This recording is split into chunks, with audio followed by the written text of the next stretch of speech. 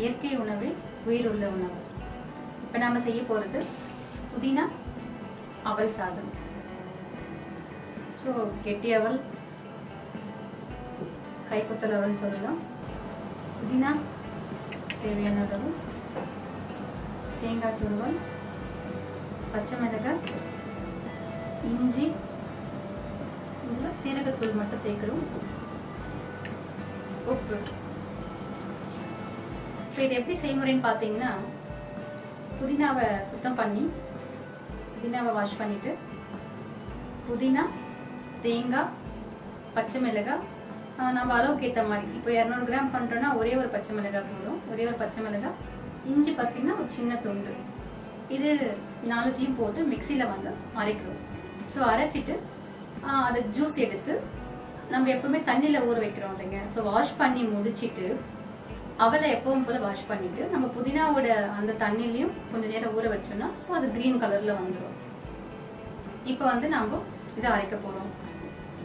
இஞ்சி வந்து ஒரு துண்டு.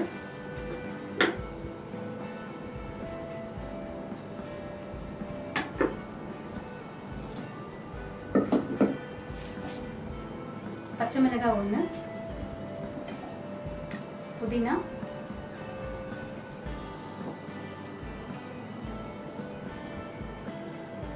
ஸோ தேங்காய் துருவல்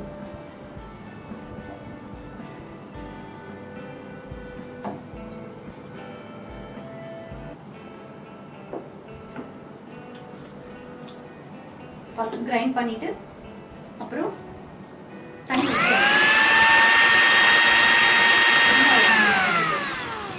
இதுல தேங்காய் நம்ம கொஞ்சமா சேர்த்துட்டா போதும். தேங்காய் துருவல் வந்து அவல்ல சேர்த்துக்கலாம். கொஞ்சமா ஃப்ளேவருக்காக இதில் சேர்த்துருக்கோம். இதை வந்து நம்ம ஃபில்டரிங் பண்ணுறோம்.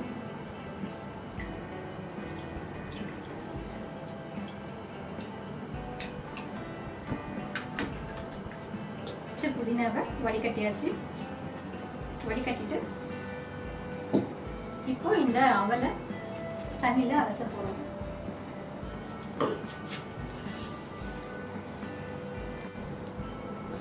தண்ணி ஊற்றி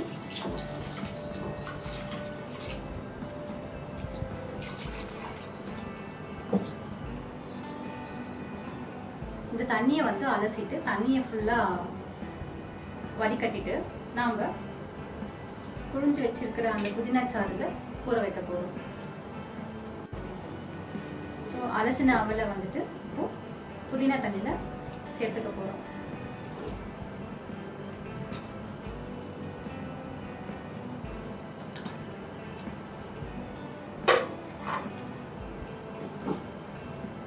ஸோ ஆக்சுவலாக பார்த்தீங்கன்னா புதினாவுடைய அந்த தண்ணியோட அளவு நம்ம எடுக்கிற விதம் அதுதாங்க. இப்போ வந்து புதினா நம்ம பச்சை மிளகாய் இஞ்சி எல்லாம் சேர்த்து அரைக்கும் போது ரொம்ப திக்னஸாக எடுத்தோம்னா நல்லா டார்க் க்ரீனாக வரும். சரிங்களா? இப்போ வந்துட்டு நம்ம ஊற வைக்கும் போது அலசுறோங்களா? ஸோ அவளை வந்து அலசின உடனே தண்ணியை வடிகட்டிட்டு அந்த திக்னஸாக இருக்கிற அந்த புதினா சாறு எடுத்து இதில் போட்டு ஊற வைக்கிறோம். ஸோ நம்ம வந்து போட்ட அந்த புதினா தண்ணியில் இதை ஊறிடுச்சு. இதெல்லாம் ஏற்கனவே சொன்ன மாதிரி பச்சை மிளகாய் இஞ்சி கொஞ்சம் லேசாக தேங்காய் புதினாலாம் போட்டு அரைச்சிருக்கோம். ஏற்கனவே இதில் கொஞ்சம் காரம் இருக்கிறதுனால மிளகுத்தூள் சேர்க்கணும்னு அவசியம் இல்லை. சீரகத்தூள் மட்டும் டேஸ்ட்டுக்காக போட்டால் போதும். உப்பு. இப்போ வந்து நான் சீரகத்தூள் கொஞ்சம் சேர்க்குறேன். ஸோ இதில் இன்னொரு விஷயமும் கூட உப்பு வந்து நம்ம ஊற வைக்கும் போதே ஊற வச்சிட்டோம்னா மிக்சிங் வந்து கரெக்டாக இருக்கும். இப்போ நல்லா ஊறின பிறகு திரும்ப மேலே தூங்கணும்னா அது அங்கங்கே இருக்கும். ஸோ ஆல்ரெடி நான் கொஞ்சம் முதலே இதில் உப்பு சேர்த்துட்டேன். தேங்காய் துருவல்.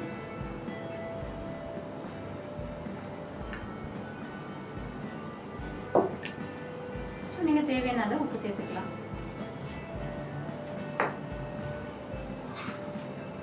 நல்லா க்ரீனிஷாக இருக்கும். குழந்தைங்களாம் யாரும் இதை வேணாம்னு சொல்லவே மாட்டாங்க. தேங்காவோட டேஸ்ட் அதிகமாக இருக்கும். புதினாவோட கசப்போ இல்லைன்னா வந்து அதுக்கான ஒரு மாதிரியான அந்த எப்படி சொல்கிறதுங்க அந்த புதினாவோட அந்த டேஸ்ட் இதில் தெரியாது. வாசம் மட்டும்தான் இருக்கும். பட் டேஸ்ட் ரொம்ப நல்லா இருக்கும். இப்போ நாம் வந்து இதை ரெடி பண்ணிட்டோம். இப்போ ப்ரெசன்டேஷன் பண்ண போகிறோம் சர்விங் பவுலில் மாற்ற போகிறோம் ரொம்ப பார்க்க கலர்ஃபுல்லாக இருக்குங்க. நம்ம எந்த அளவுக்கு இதை க்ரீன் ஆட் பண்ணுறோமோ ரொம்ப ஸ்ட்ரென்த்தான ஒரு விஷயம். ஆரோக்கியமான விஷயம் கூட. நம்ம பசங்கள்லாம் பார்த்தீங்கன்னா புதினா துவையல் அரைச்சி கொடுப்போம் சட்னி அரைச்சி கொடுப்போம். யாரும் சாப்பிட மாட்டாங்க. ஸோ இந்த மாதிரி ஒரு ஃபுட் கொடுக்கும்போது கண்டிப்பாக சாப்பிடுவாங்க. பெரியவங்களுக்கும் ரொம்ப பிடிக்கும் இது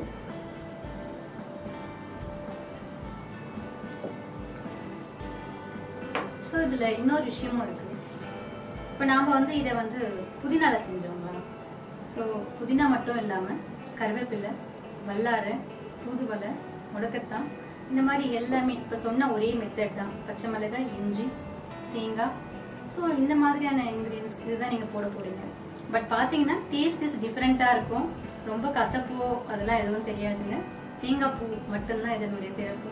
எந்த அளவுக்கு தேங்காய் பூ? தேங்காய் பூனா தேங்காவை துருவி நம்ம துருவி போடுறது. ஸோ சிலவங்க தேங்காய் பூனும் போது தேங்காய் பூவை துருவி போடுறாங்க. ஸோ அது இல்லை. தேங்காய் பூவை வந்து தேங்காவை துருவுறது. சரிங்களா? ஸோ இதை ஆட் பண்ணும்போது டேஸ்ட் வந்து ரொம்ப வித்தியாசமாக இருக்கும். இதில் பச்சை க்ரீன் கலர் சம்மந்தப்பட்ட எல்லா விஷயத்தையும் நம்ம இதை அடன் பண்ணலாம். அகத்திக்கீரை வல்லாறு தூதுவளை இன்னும் இருக்கிற மூலிகைகள் எல்லாமே நம்ம இதில் வந்து அடன் பண்ணி சிறப்பாக பண்ணலாம். புதினா அவல் சாதம் தயார்